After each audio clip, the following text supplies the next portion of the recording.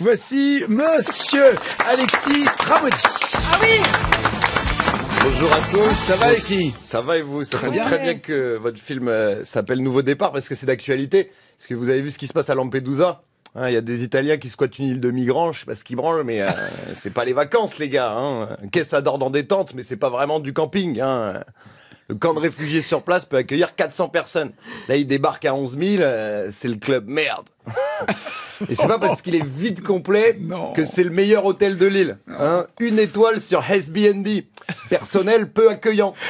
Vu les sommes qu'ils payent aux, aux- aux passeurs, attends, 5000 euros la traversée, à ce prix-là, euh, fais une croisière. Hein.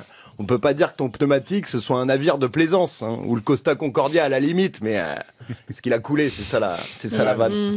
Et ça a fait 32, euh, ça a fait 32 victimes en, en 2012.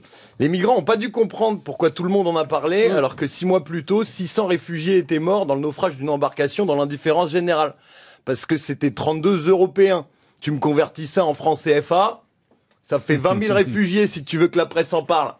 Surtout les migrants. Ouh, celle-là, il plaît pas aux journalistes, Non, apparemment. hein. Surtout les migrants ont pas dû comprendre pourquoi les blancs faisaient comme eux pour le loisir. Hein, En les voyant se noyer, ils étaient là, c'est de l'appropriation culturelle ou euh, Surtout que c'est pas la première fois. Hein. Traverser un continent à pied avec un euro par jour pour manger. Quand t'es noir, t'es un migrant. Quand t'es blanc, c'est Pékin Express. Vrai. Prends 100 000 balles à la fin. hein. Arriver sur une île et manger des racines en attendant de savoir si on te renvoie chez toi, quand t'es blanc, c'est Colanta. Hein, quand euh, Lampedusa, c'est moins sympa. Ils sont debout depuis trois jours, collés les uns aux autres. Il n'y a même pas la place de s'asseoir. Ils sont là. Elle est longue l'épreuve des poteaux cette année. Ils attendent leur droit d'asile comme un totem d'immunité.